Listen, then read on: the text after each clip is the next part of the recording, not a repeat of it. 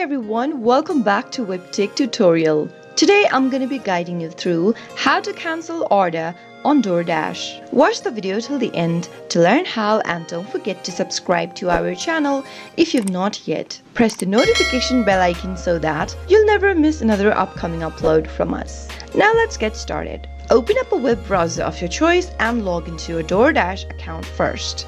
Here I have my DoorDash account logged in once you're inside the main home page, click on the horizontal bars at the top left hand corner and from the expanded options, click on orders. If there is any ongoing orders on your DoorDash account, you'll be able to see it listed right here on this page. In my case, it's not showing me anything since I've not yet made any kind of an order from DoorDash. From the list, you'll be able to see a button that says cancel order. Simply give it a click. In order to cancel the order from DoorDash, now simply follow the on-screen prompts and you'll be able to cancel any order that you've made on DoorDash unless it's already delivered to you. I hope you found the video to be helpful. If it was, go ahead and give us a thumbs up. I'll be back soon with more videos like this. Thank you for watching.